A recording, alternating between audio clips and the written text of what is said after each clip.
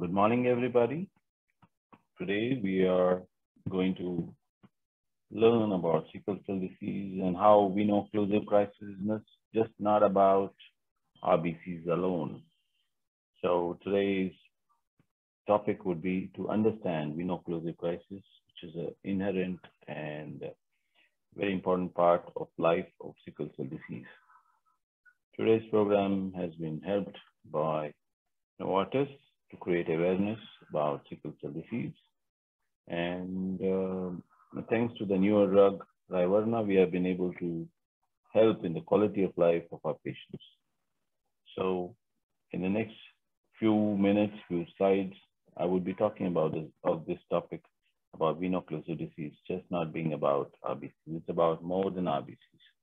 Thank you very much for joining today, and we'll be starting a lecture pretty soon. Thank you.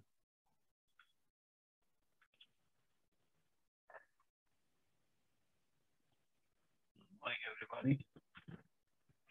Today we're going to speak about sickle cell disease and thinking about beyond sickling. That's very, very important for us. I'm Dr. Vijay Ramanan. I'm the director of MVR Welfare Foundation.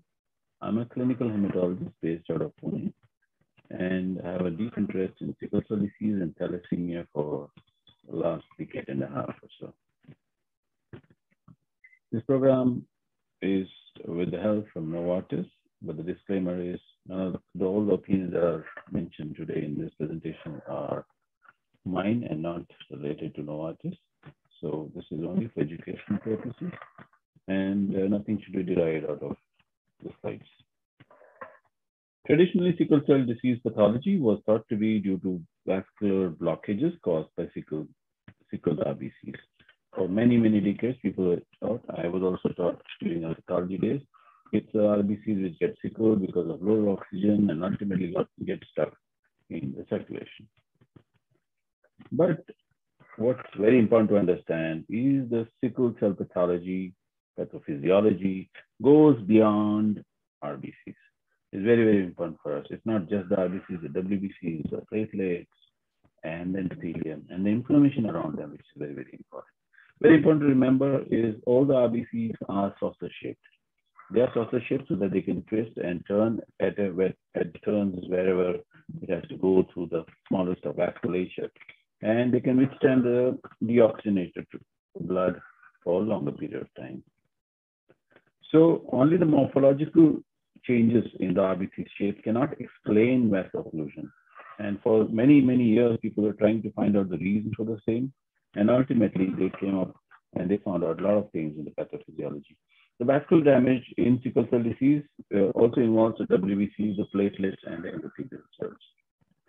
So the key drivers of vaso-occlusion are endothelial activation, endothelial activation leading to enhanced adhesions of all the types of cells neutrophil activation leading to inflammation, polymerization, and ultimately chronic hemolysis, which causes all this to happen. Activation of WBCs promote interaction with the endothelial cells, we promote interaction with the RBC, your platelets, and ultimately release of pro-inflammatory cytokines. So WBCs have multiple selectins which are there, which I'll show you in the next few slides. Ultimately, this interaction leads to the activation of the leukocytes and which ultimately leads to secretion of pro-inflammatory cytokines, which ultimately activates the platelets and the uh, extracellular tract around the platelets. Ultimately, this activation of platelets causes small clots to happen. And this chronic inflammation that goes on ultimately damages the endothelium. Now, platelets express adhesion molecules that bind to the sickle RBC. Like, like the WBCs, even the platelets express uh, molecules. So they express the P-selectins and the other selectins, which are which ultimately allow them to bind to the, the, the sickle RBCs. Sickle RBCs have a P-selectin ligand. So ultimately that binds to the P-selectin on the platelets, ultimately causing a plug. So the whole, whole thing of activated platelet getting stuck to the WBC and the WBC getting stuck to the endothelium and the RBCs ultimately leads to a, a vaso-occlusive crisis. So very important thing is we always forget endothelial cells. These are the most important cells and uh, and the non-metable nature of them allows us to live a normal life till the time they get broken. So in, in sickle cell disease, they are broken by the WBC, they're broken by the inflammation, they're broken by the RBCs, and ultimately with the hypoxia and the hemolysis. So when this activation uh, occurs, there's endothelial damage, higher expression of P-selectin occurs on them. Ultimately, more RBCs get stuck to the endothelium, causing more amount of deoxygenation in the site. Ultimately, this is a vicious circle which continues till there's a total occlusion. So pathological mechanisms uh, that lead to development of multiple adhesions and the vasoocclusion feedback uh, ultimately leads to, as I told you, increasing vasoocclusive process. So hemolytic anemia with vasoocclusion causes more tissue hypoxia, which ultimately um, causes more vasoocclusion. There's a reperfusion injury that may occur at the same time.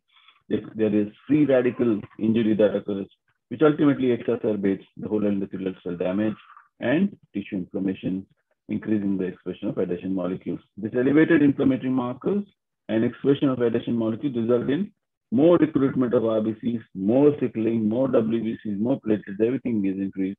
And ultimately, we have a hotspot where there's a vasopressive crisis. So this is a whole thing which continuously goes on. A vicious circle goes on. The catch-22 never ends. And ultimately, we have the whole, whole process coming to a culmination or may not come to a culmination that organ starts getting damaged. To summarize, very important, the pathophysiology of sickle cell disease and vaso-occlusive crisis goes beyond the RBCs. Remember, it goes beyond the RBCs, not just the RBCs. And the key drivers are endothelial activation, enhanced adhesion, neutrophil activation, alpha-platelet activation, polymerization of the sickle RBCs, and chronic hemolysis. So not one, multiple factors are there. And there's a vascular damage which uh, continuously occurs in sickle cell disease, which involves WBCs, platelets, and endothelial cells.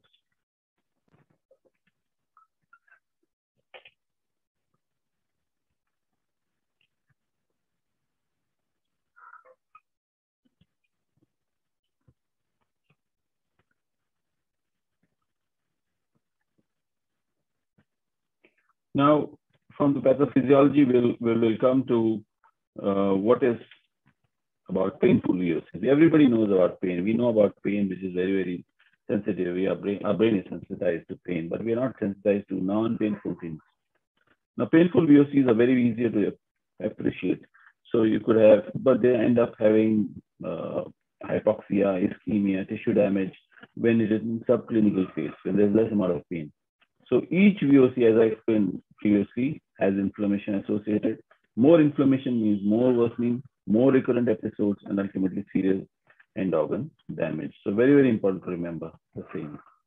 Every VOC has four stages. First is the prodromal phase when the patient says, I feel something funny is happening.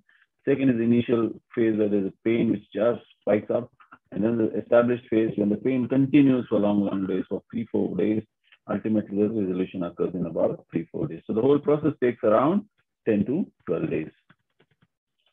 Prodrome, you may have the weird symptoms of numbness, paresthesia, ache. Initial phase, as I said, pain increases. Established phase, the pain continues and the quality of life is affected. Joint effusion may be there, inflammation may be there. Ultimately, uh, all these phases are seen in acute chest syndrome, multi-organ failure may occur, even death can occur during this whole phase of established phase of VOC. Resolving phase of pain, because of all RBCs break down, there's a hemolysis. So the pain re resolves, but there's a drop in hemoglobin at that time. So you can have an acute crisis where you have dip in the middle, but they could have a chronic crisis where this prodromal phase in fact increases and this thing continues. So you could have continuous amount of sickling crisis with some small amount of resolution of pain. VOCs are like the iceberg phenomenon. Clinically visible painful crisis is, is much less than the subclinical painless, silent going on process where there's multicellular adhesion, inflammation, cell activation, endothelial damage, which leads to silent cerebral infarcts. You may have ILDs, you may have renal damage. So many of the sickling uh, uh, areas of sickle have a lot of renal failure, a lot of ILDs, a lot of cardiac events, a lot of moya moya, and a lot of silent cerebral infarct. So we should remember that VOC is just the tip of the iceberg. Painful VOC is the tip of the iceberg. So as we said in the previous slides, it's the inflammation cell activation, with multicellular adhesion, with adhesion WBC, platelet, everything getting adhered to the endothelium, which ultimately leads to vaso-occlusion and vaso-occlusive crisis. When it occur, uh, when it affects the nerves, it becomes a painful VOC. But if you don't, even if you don't have painful VOC, still you are having end organ damage. The moral of the story is you have many actors.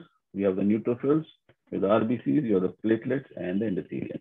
So the sickle RBCs, are, you can see there, the normal RBCs on the uh, right hand side. The normal RBCs have something called a uh, P-selectins and the P-selectin ligand. The P-selectin is expressed over endothelium. Activated endothelium expresses more amount of P-selectin, so they'll, more, they'll get attached to more WBCs, more neutrophils, more RBCs, everything. And they have E-selectin, which is also there on the neutrophil, which again uh, binds to the endothelium. Then there's the L-selectin, which is there for interneutrophilic uh, adhesion. So important point to remember the E, the P, and the L, all of them expressed on the neutrophil. Ultimately, the neutrophil is the central uh, figure in the whole vasoocclusion. Remember that the survival, at least in India, is probably 30 to 40 years. This is abroad 56 years, and as you use probably more and more agents like the crizanlizumab, which prevents the uh, crisis, we would probably see a better quality of life and better and longevity in our patients. So um, VOCs affect multiple organs, it said brain in 25% of people uh, in the lifetime. I think even more than that. You know, we don't investigate them with routine MRIs. They could be 40, 50% by the age of 30 years. Uh, renal failures occur. Reproductive system problems occur. Priapism can occur. Women have increased risk of VOC during menstruation. Lungs, acute chest syndrome affects them. Uh, pulmonary hypertension can occur in 20%. And also remember, uh, ILD can occur. Liver damage can occur in 40% of people. Ultimately, sickle cell disease is not single, it's not just RBC disorder, it's a multi-system systemic disorder, inflammatory disorder.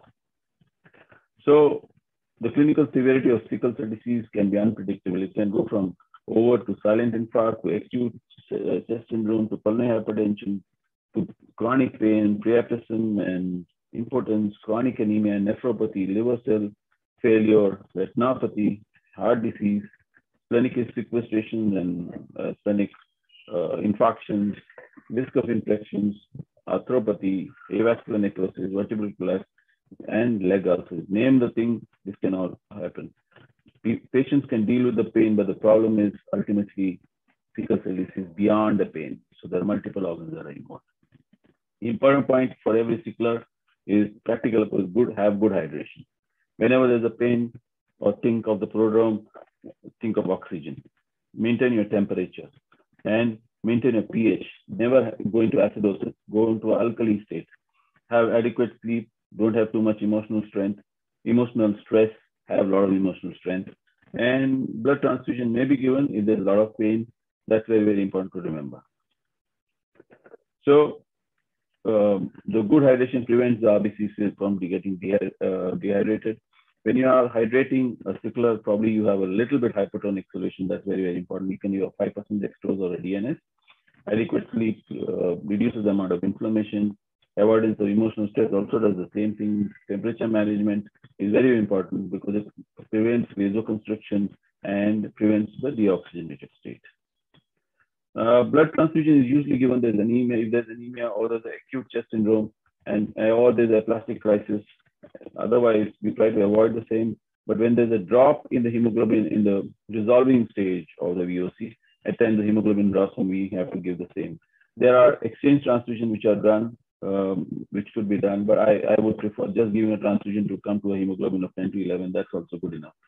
Volume overload may, may have to be prevented. These are the side effects which can occur. And very important to remember that sicklers have alloimmunization one of the highest levels of alloimmunization. So giving blood transfusion is not a solution as such. The only drug which has been proven till date is hydroxyurea because it reduces the amount of neutrophilic and uh, retic count. It induces fetal hemoglobin and so it reduces the interaction of neutrophil with the endothelium, reduces RBC hemolysis, causes release of nitric oxide, which is a vasodilator. And it reduces the risk of crisis uh, from median of uh, 4.5 to 2.5, longer median duration to first crisis. That's also there. Maximum tolerated uh, doses may not be same for everybody. We use around 20 mg per kg.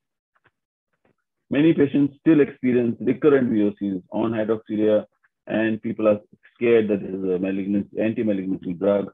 And people have been using it for 20, 25 years. There's not been any problem as such, but fertility surely gets hit with hydroxyurea. So we need newer agents. Infection is a big, big thing after VOC because of splenic dysfunction. And remember that you may have to vaccinate. The most important thing is to vaccinate for pneumococcal. These are the guidelines, depending on whether you're fully vaccinated or not. We usually prefer giving a polysaccharide pneumococcal vaccine every five years.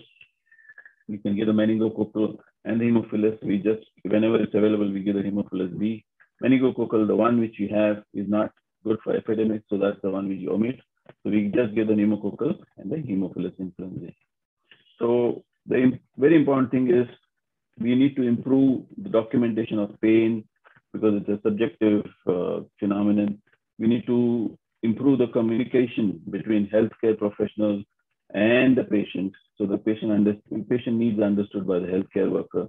There's a lot of unmet need in sickle cell disease because patient doctors cannot interpret what the patients are saying, and patient uh, prodrome of a VOC is probably taken as psychological rather than being of real physical importance.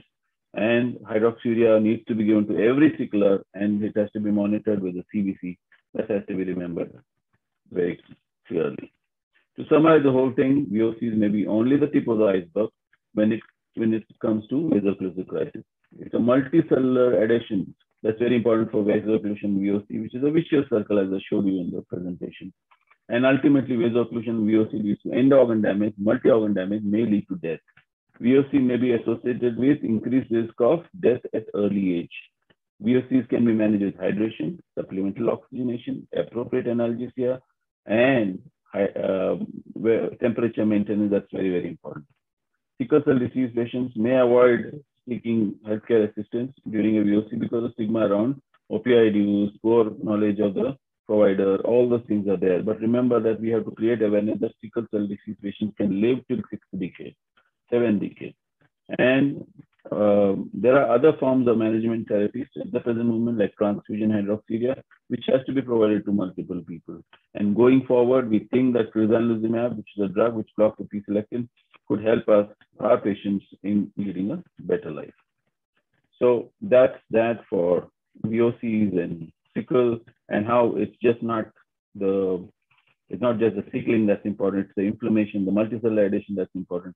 That's the whole point of this presentation that we gave today. So I would like to thank everybody for being patiently hearing all this. And I would like to thank Novartis for their assistance in creating awareness about sickle. Thank you. Thank you, everybody.